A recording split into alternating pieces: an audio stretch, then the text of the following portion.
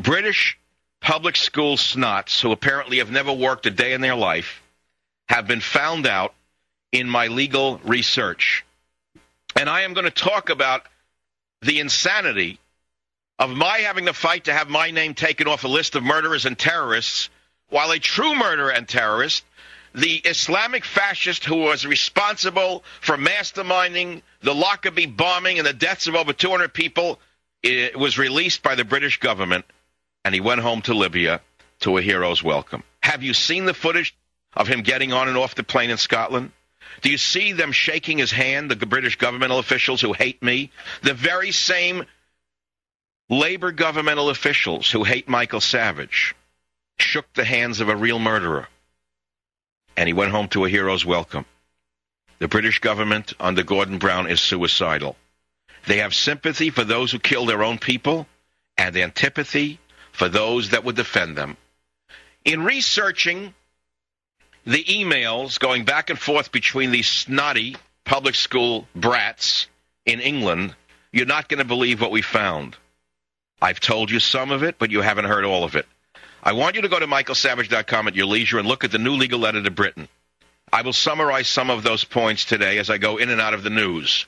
The uh, memos are not going to be believed. You're not going to believe them when you read them. You have to see them. And I have to go back again to what I said to you before that in a world of hype, a world of self promoters, in a world of people trying to make a name for themselves, it's very difficult for you to take me seriously if you are a born skeptic as I am. I'm a born skeptic. I don't believe anybody, particularly anybody in the media. So it would be natural for you to have some skepticism about what I am saying, but I want you to try to not put aside your skepticism, but try to listen to what I'm saying to you. Just try for a minute. How do you square a government, the British Labour government, releasing the mastermind of the Lockerbie bombing, shaking his hand as he leaves Scotland, and putting me on a list of people to be banned because of my unacceptable behavior? Now, I want you to understand that to the British government under Gordon Brown, speech has become behavior. Do you understand how Orwellian this is? Speech has become behavior.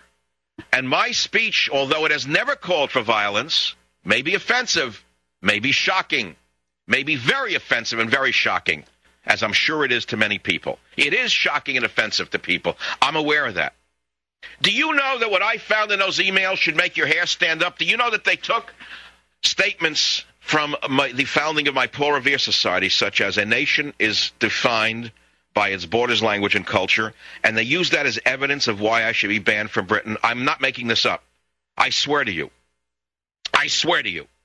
They said that because Michael Savage believes a nation is defined by its borders, its language, and its culture, he has engaged in hateful speech.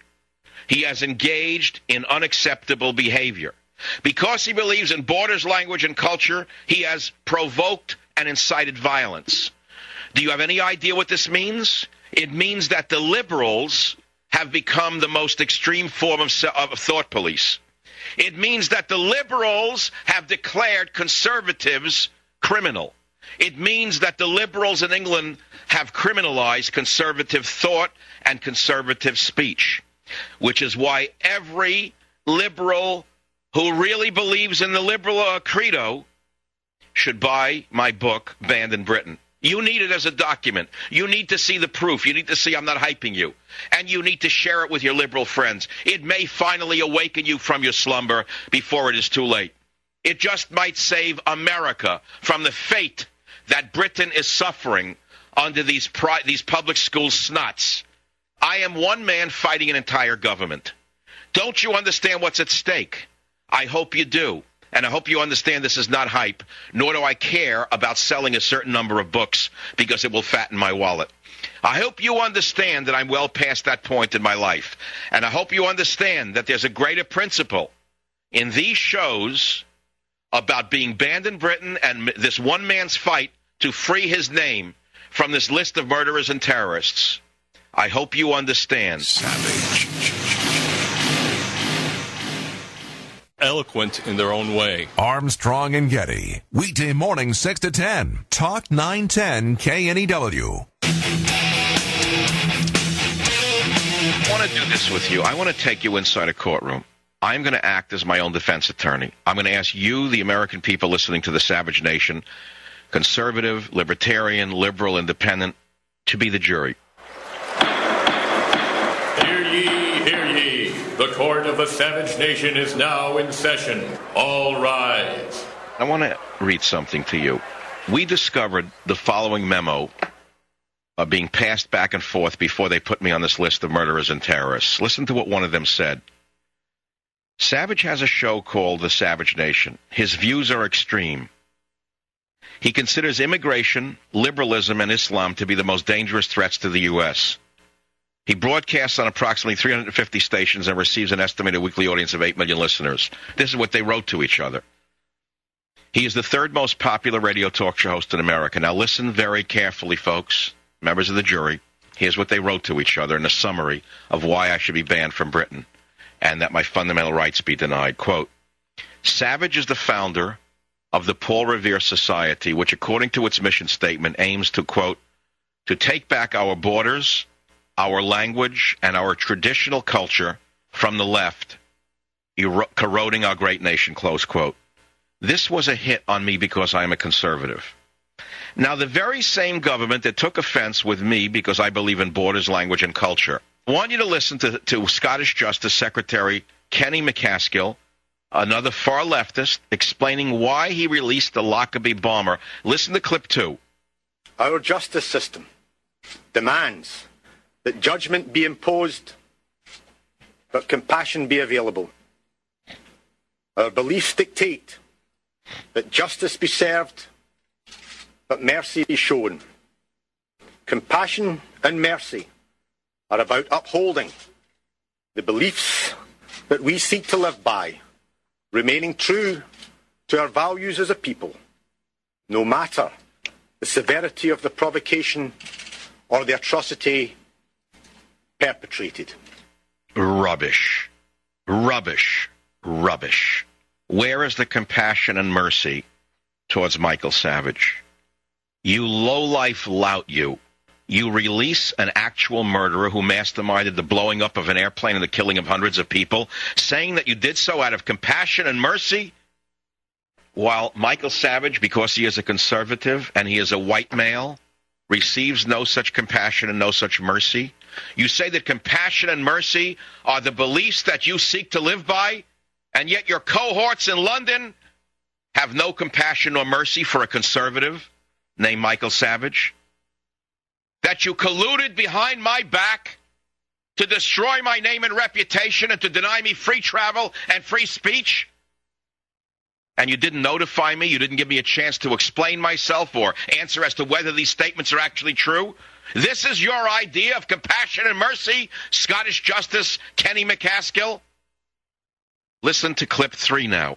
For these reasons, and these reasons alone, it is my decision that Mr Abdel Basit Ali Mohamed Al Megrahi, convicted in 2001 of the Lockerbie bombing, now terminally ill with prostate cancer, be released on compassionate grounds and are allowed to return to Libya to die. So, in other words, if I had a terminal illness and I was going to die, you'd let me into your rotten, stinking nation? Is that what you would do? If I were terminally ill, you'd release me for compassionate grounds? Well, let me tell you something. I ain't going to die so fast. Let me tell you something, Mr. Justice.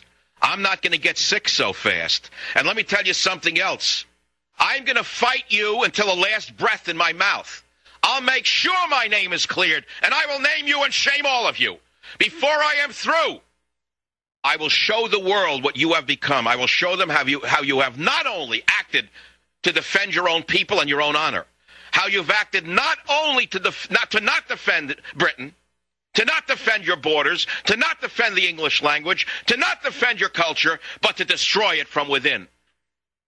Whether it be out of cowardice or treason, I'm not sure if it's a combination of one or the both or something else.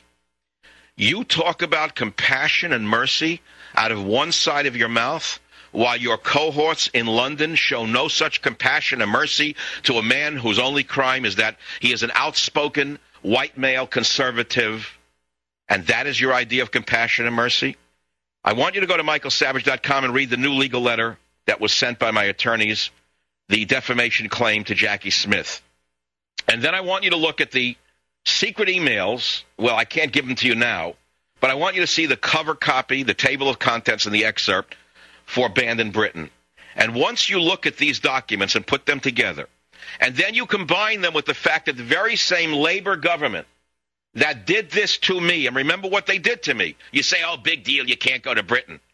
You didn't want to go anyway. Well, you have to see the larger point. That defies, excuse me, that denies me my freedom of movement, which is a, de- a denial of my fundamental civil rights.